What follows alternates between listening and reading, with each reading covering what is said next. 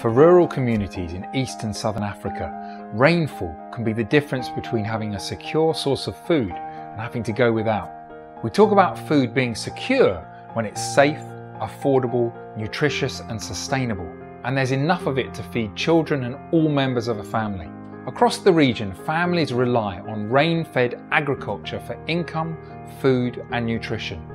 So when rains fail, an area can experience drought.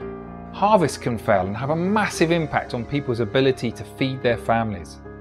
That's when food becomes insecure.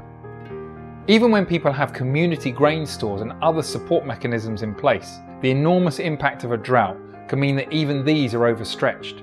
Families whose livelihoods revolve around livestock are affected by drought when there's no vegetation for animals to graze and little water to drink.